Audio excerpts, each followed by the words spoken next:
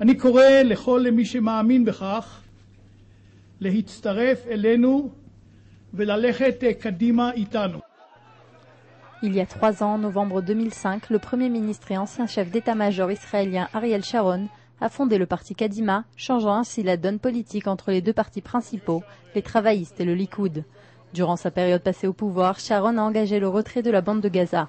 Cette action, considérablement critiquée, lui a tout de même valu un soutien certain du public israélien.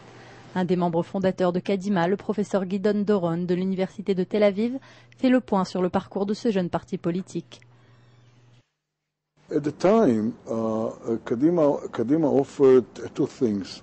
First of all, the, pullback or, or, or, from, from the Gaza Strip, as I said before, and, and second, leadership. Sharon's leadership was very comforting for many people.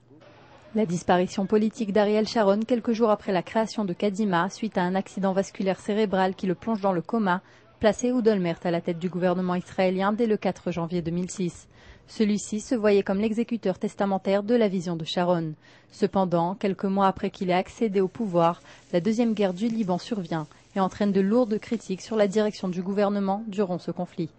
Ehud Olmert, uh, in, in many ways, uh, at least at the beginning, tried to follow the footsteps of Sharon, but then uh, uh, he retreated from many of his position, early positions. So, so, you know, now, now it, it's very difficult to say what Kadima has to offer the Israeli public. Quelques mois plus tard, Olmert se retrouve au centre de plusieurs enquêtes judiciaires. La police l'accuse d'avoir reçu d'importantes sommes d'argent en liquide d'un homme d'affaires juif américain, Moritz Talansky, et d'avoir frauduleusement facturé des billets d'avion.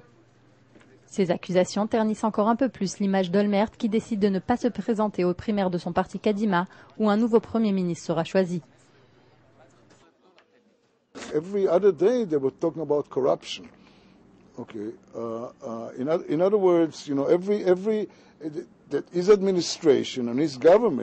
Was alleged corrupted, and the pressure upon him was so great that he had to resign.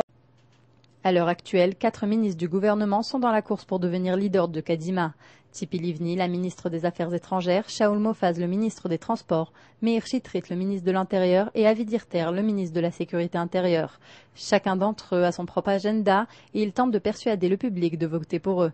En attendant les élections, ce mercredi 17 septembre, la tension monte sur le terrain et les membres de Kadima se préparent au grand jour. Kadima party today is the only party in the middle. We have got parties on the left, we've got parties on the extreme right, but the only one that is the middle is Kadima. This was a dream of Arik Sharon, and this dream became true. Well, it takes time, and we'll see who gets elected. And I believe that whoever it is, as I said before, will rise to the occasion and will bring pride to Israel and Kadima.